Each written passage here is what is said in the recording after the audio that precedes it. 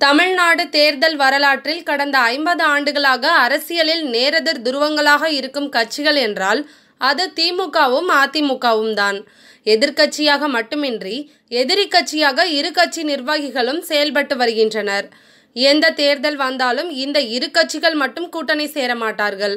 மற்றபடி தேசிய கட்சிகள் மாநில கட்சிகள் திமுக மற்றும் அதிமுகவுடன் கூட்டணி அமைத்து தேர்தலை சந்தித்து வருவது வாடிக்கை. காங்கிரஸ் பாஜக கம்யூனிஸ்டுகள் பாமக மதிமுக விசிக மற்றும் இஸ்லாமிய கட்சிகள் தேர்தல் காலங்களில் மாறி மாறி கூட்டணி வைத்து வருவது வழக்கமானது.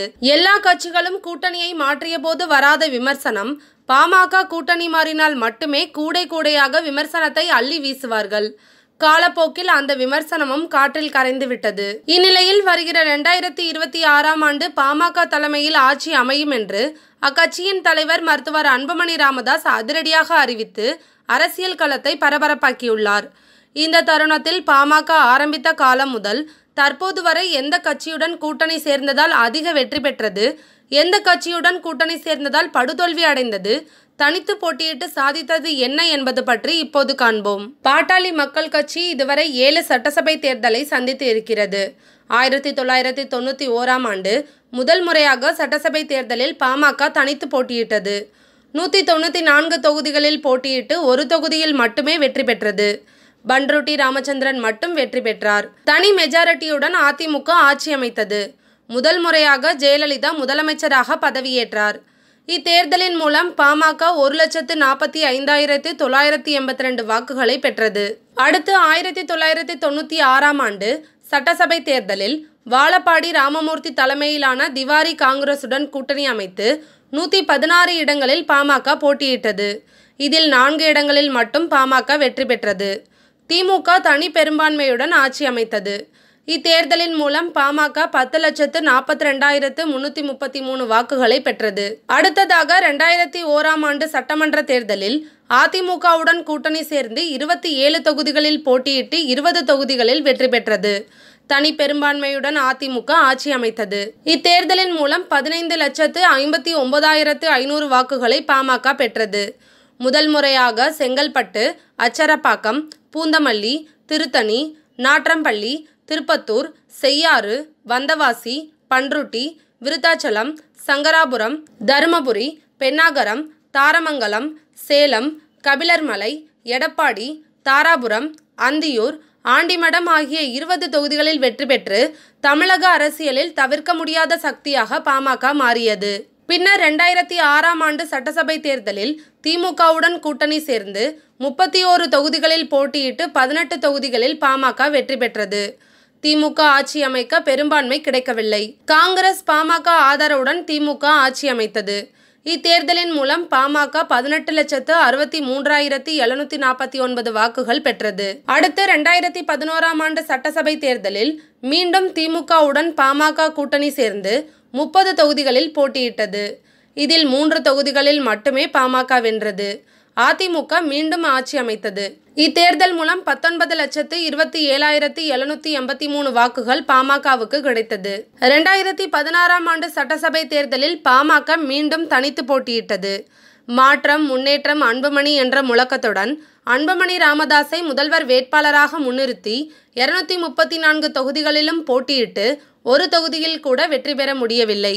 அதிமுக மீண்டும் வெற்றி பெற்று ஆட்சியை தக்க வைத்தது. இத்தேர்தலில் பாமகவுக்கு இருபத்தி மூணு லட்சத்து எழுநூத்தி எழுபத்தி ஐந்து வாக்குகள் கிடைத்தன. ரெண்டாயிரத்தி இருபத்தி ஓராம் ஆண்டு சட்டசபை தேர்தலில் அதிமுகவுடன் மீண்டும் கூட்டணி சேர்ந்து இருபத்தி மூன்று தொகுதிகளில் போட்டியிட்டு ஐந்து தொகுதிகளில் பாமக வெற்றி பெற்றது.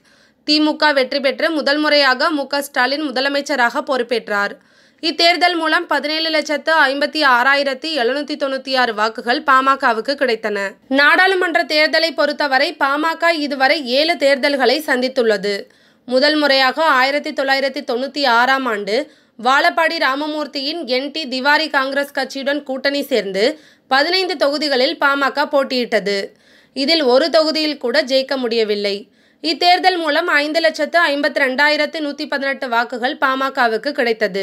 அடுத்து ஆயிரத்தி தொள்ளாயிரத்தி தொண்ணூத்தி எட்டாம் ஆண்டு நடைபெற்ற நாடாளுமன்ற தேர்தலில் பாஜக தலைமையிலான தேசிய ஜனநாயக கூட்டணியில் சேர்ந்து ஐந்து தொகுதிகளில் போட்டியிட்டு நான்கு தொகுதிகளில் பாமக வெற்றி பெற்றது. இதன் மூலம் தமது நாடாளுமன்ற வெற்றி கணக்கை தொடங்கியது.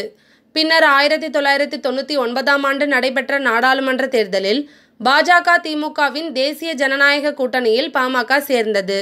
ஏழு தொகுதிகளில் போட்டியிட்டு ஐந்து தொகுதிகளில் வெற்றி பெற்றது. பிரதமர் வாஜ்பாயின் மத்திய அமைச்சரவையில் பாமக முதல் முறையாக இடம்பெற்றது பாமகவின் தலித் எழில்மலை மத்திய கேபினட் அமைச்சராக பதவியேற்றார். அடுத்து இரண்டாயிரத்தி நான்காம் ஆண்டு நடைபெற்ற நாடாளுமன்ற தேர்தலில் காங்கிரஸ் திமுகவின் ஐக்கிய முற்போக்கு கூட்டணியில் சேர்ந்து பாமக ஆறு தொகுதிகளில் போட்டியிட்டு ஆறு தொகுதிகளிலும் வெற்றி பெற்றது. புதுச்சேரியில் முதல் முறையாக பாமக வேட்பாளர் ராமதாஸ் வெற்றி பெற்றார்.